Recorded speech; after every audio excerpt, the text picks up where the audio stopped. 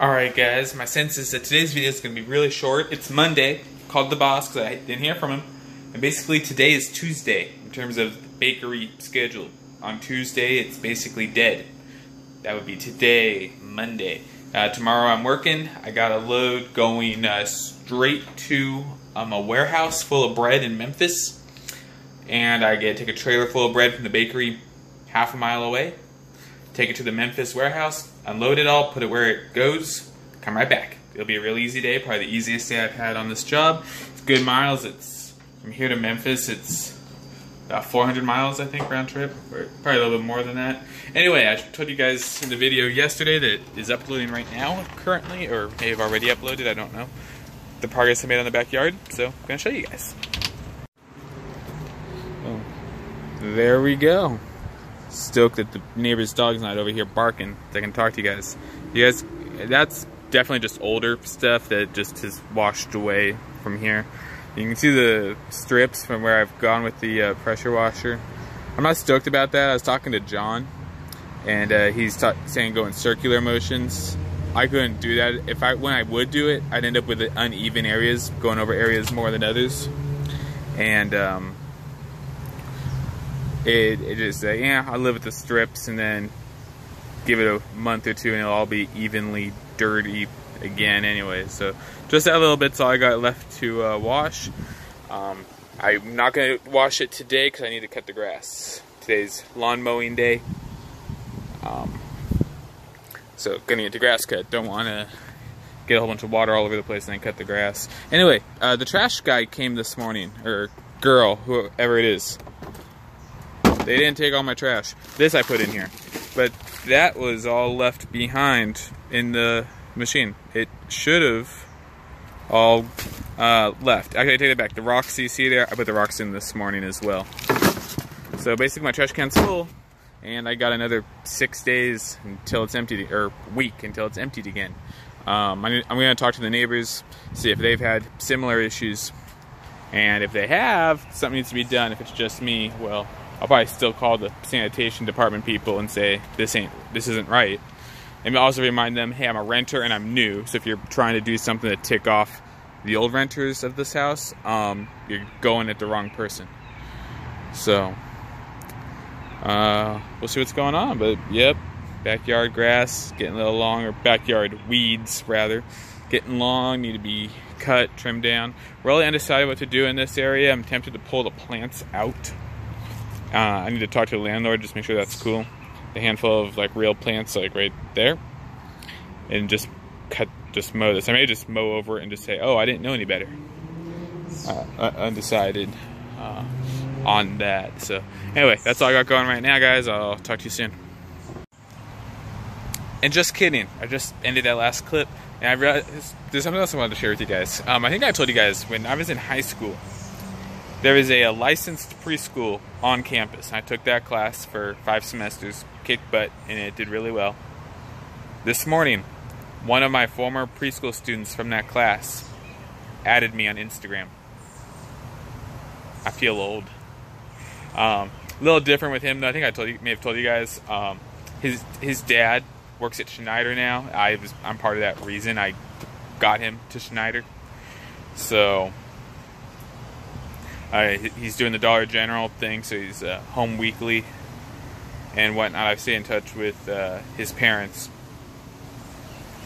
uh, not like you know every week or even every month, but enough that uh, I get together with them for a beer or dinner, and it's no big deal. Haven't seen the boys. I think I've seen the boys once since preschool, so with the boys not so much, but a uh, little different. A little different. I was not expecting that to happen. But anywho, um, yeah, whenever something cool happens, I will uh, let you guys know.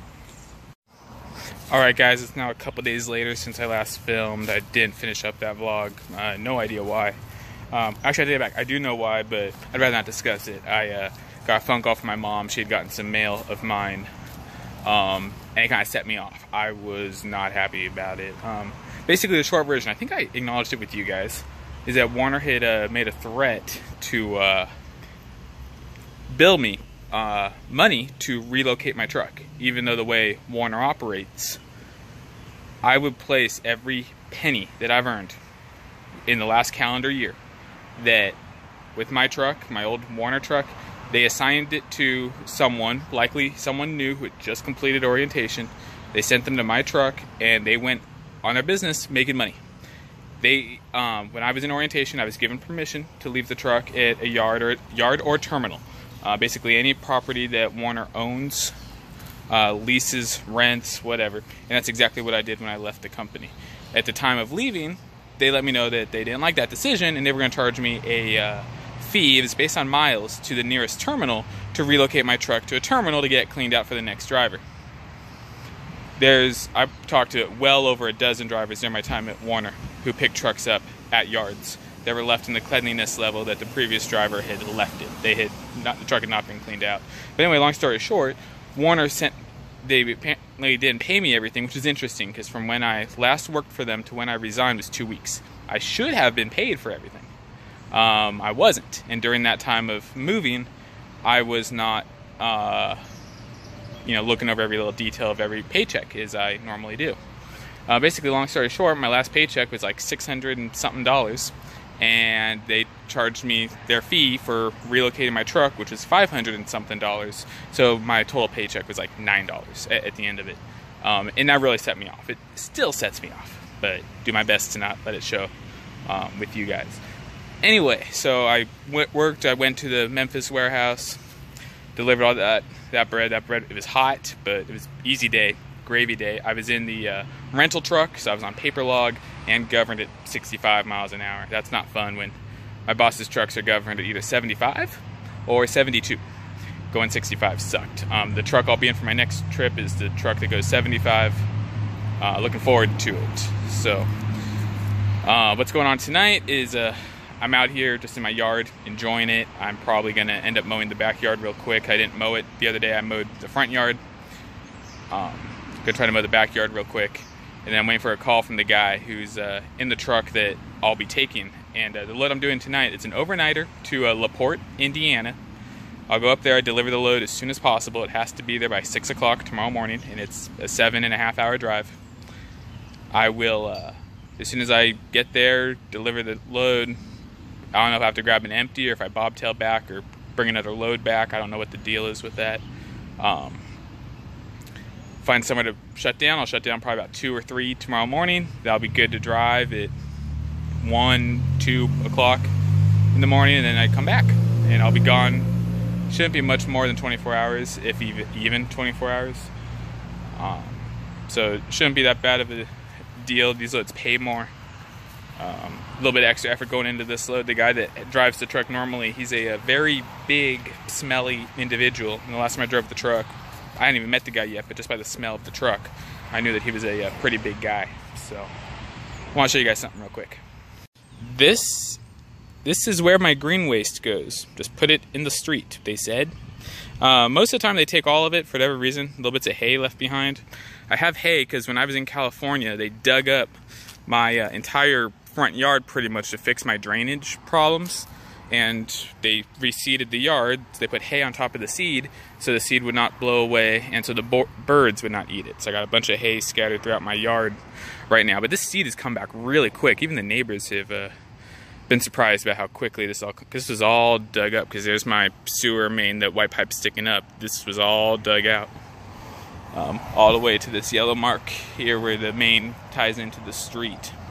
Um, it was all dug up and reseeded and that's from when I came back from California, but not that long ago. Very uh, impressed with that. So, but uh, it's interesting to me. Just leave the grass right here in the curb. Generally, they take all of it. Um, they left some behind this time, but uh, this is part of why I didn't do the uh, backyards because I put down that much, quite a bit of it for uh, just my front yard.